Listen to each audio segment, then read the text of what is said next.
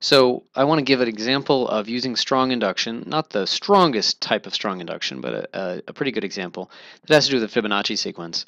And as uh, I like to do, I'm going to emphasize to start with the informal inductive reasoning part of it, of trying to discover some pattern, and then we'll see how the strong induction principle can be used to carefully prove that. So the Fibonacci sequence, I I'm assuming you have a little familiarity with that. You start out with 1 and then 1, and then the, um, oops, the next term, each time you want the next term, the m plus first term, I'm going to use m here because it's I'm going to use an n for something else later, um, is the next term is the current term plus the previous term. And it's that look back by two units that's going to involve strong induction. So 1 plus 1 is 2, 1 plus 2 is 3, 2 plus 3 is 5, 3 plus 5 is 8, and 5 plus 8 is 13, etc. It can be really convenient to start the sequence with 0, uh, with f sub 0, as with a lot of sequences like powers and things like that, and factorials, it makes sense to define it for 0. And it fits the pattern if you define f sub 0 equals 0. So we may need that. Um, and if it's a pattern, because then 0 plus 1 equals 1. So 0, 1, 1, 2, 3, etc. is makes perfect sense. Okay, so what I want to experiment with, and this is a good one, a good video to pause um, occasionally to experiment yourself, is what happens when I go two places ahead? Is there a systematic pattern when I go two places ahead? um, and more, and three places ahead, or four places ahead, or five places ahead. And there's a beautiful result that comes out of that that um, does sort of double Fibonacci in a way. So let's look at uh, if I'm at a particular location M in the sequence, and then I jump two places ahead. Well, this rule just applied with M plus 1 instead of M tells me that fm plus 2 is just fm plus 1 plus fm. If that's the next, this is the current and that's the previous. But I want to get it in terms of f sub m and f sub m minus 1. So I want to see it in terms of these guys. So I'm thinking that the knowledge I have is like the 2 and the 3 here. And I want to predict not what the next one is, but what this guy is. What is this in terms of these two numbers? Okay. Well, I'm just going to use Fibonacci again. fm plus 1 is fm plus fm minus 1 and then plus the fm that was already there. So I get 2 fm plus, and I'm going to put in explicitly 1 times fm minus 1. Okay. Yeah, so what? It's not, not earth-shattering at this point. Okay. Let me see if I can fit this in here. Now let, us look at f sub m plus 3. Okay, so that's f sub m plus 2 plus f sub m plus 1. Oh, hey, okay. I've got exactly that information already on the board. That's 2 f sub m's plus 1 f sub m. That's a 3 f sub m. And then a 1 f sub m minus 1 plus a 1 f sub m, that's 2 f sub m minus 1. Okay, so far mildly interesting. We're getting coefficients of 1, 2, 3. Yeah, big deal. Okay, this is a good place to stop and see if you can figure out the pattern.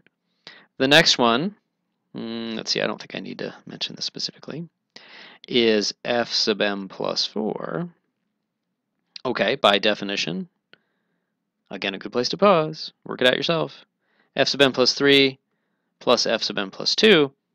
Oh, hey, I have both of those right here. That's going to be 3 plus 2 is 5 f sub m plus 2 plus 1 is 3 f sub m minus 1. And do we see a pattern yet? Hmm. So what we're building is a bunch of rules that say if I'm starting at some location in the Fibonacci sequence and I go a certain number of places ahead, then it's always going to be expressible in terms of the current two that I'm looking at, the f sub m and f sub m minus 1, with some coefficients. And what do those coefficients start looking like? 1, 1, 1, 2, 2, 3, 3, 5. Hmm, that's very interesting. So looks like they're the Fibonacci numbers. And let's see why that would be true. This one is a good example. Where did this come from? Uh, the FM plus 3 said look back just one thing to the, the previous version of the formula. And the FM plus 2 said look back two places to the not just previous but the previous to that, the, um, the second to last version of the formula.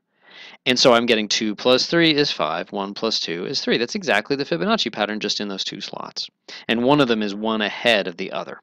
Okay, let's do, uh, let's do one more. Um, oh, let's just look at a, a numerical example. Let's say m is equal to 3, okay, and then m minus 1 is equal to 1 uh, is equal to 2. So I'm looking at these two, and then jumping four places ahead. The 13 should be 5 times 2 plus 3 times 1. Yeah, it totally is. Okay, so just in case you're wondering if this is really making any sense or if you want to be more concrete, you can just plug in some numbers. Okay, so what about f sub, f sub m plus 5? Let me squeeze it in up here. f sub m plus 5 is, of course, f sub m plus 4 plus f sub m plus 3. And once again, I've got um, the f sub n plus 4 written out in the way I want, plus the m plus, f of n plus 3 written out in the way I want. And so that's going to be 8, and not just an accidental 8, a 5 plus 3. It's not just happens to be the Fibonacci, it's Fibonacci for the same reason. And then a 3 plus 2 is 5 times f sub n minus 1. Okay, so now this is a great example of um, looking at special cases, seeing a pattern, getting a sense that the pattern is not accidental, that you can explain the pattern at least vaguely. Then we can try to make the pattern precise, and then we can prove it using mathematical induction. Um, so the claim is that, now, now let me just write this out. The, the whole claim is that these are particular Fibonacci numbers, but let's say what they are. That 8 is f sub 6, and that 5 is f sub 5 um, yeah, times f sub m minus 1. Okay, so this 5 gave rise to a 6 and a 5. Okay, so it looks like we have the pattern. f start at m and go n places further, and here's where n is going to come in, is, it looks like it's f sub, uh, that looking looks like an n plus 1, the Fibonacci number corresponding to n plus 1 times fm plus f sub n alone times f sub m minus 1. Okay, and so this can look kind of funky, but uh, and it's actually very symmetrical in M and N, but I've sort of focused on here's the information we had. We were at this stage of Fibonacci where I was paying attention to f sub m and f sub n minus 1, and then n is the number of stages I skip ahead, and these are the coefficients that tell me how that skip can be predicted in terms of just where I am right now. So this like the current data. That's the skip.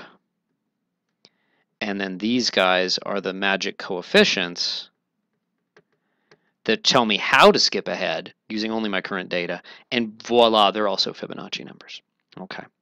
This rule has a lot of beautiful things happening with it, um, including relationships to like trig and like the sum formula for sine and cosine, which I did some videos about a while ago. Um, but that's kind of, I think, the most basic way to discover that there might be such a rule. Okay, so that's what we want to show. Okay, and we want to show that for all positive integers m and n. And in the next video, we'll see how um, how we can do that using a little bit of strong induction to really carefully prove that.